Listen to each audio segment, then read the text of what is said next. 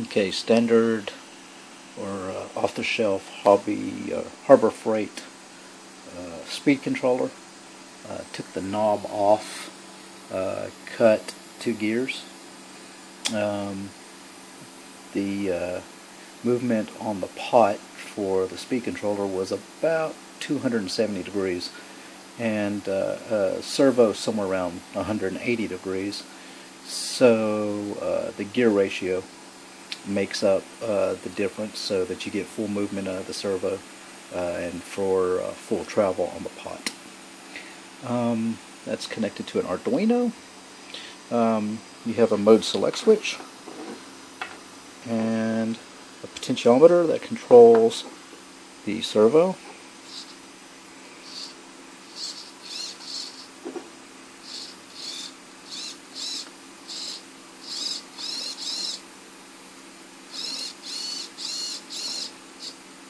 all the way on and all the way off. Let's turn on the spindle.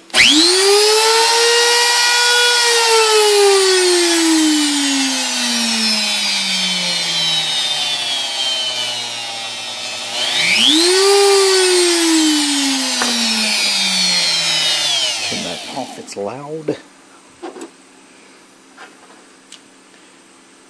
Mm. The Arduino is also connected through a uh, low pass filter, just a cap and resistor, to the uh, Easy or the Easy CNC uh, Hobby CNC Easy board. Um, it's the little one, their cheapest one. So we put that in pulse mode. Just we'll change our switch that will change over. Now we can on EMC2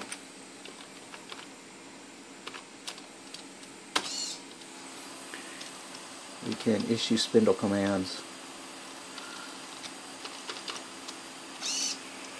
and change the position uh, through uh, Linux CNC.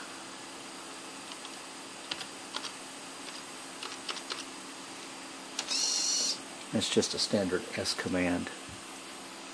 Uh, S1000, S2000. Uh, that's set up through the HAL UI configuration uh, for Linux CNC. Um, code will be posted on GitHub.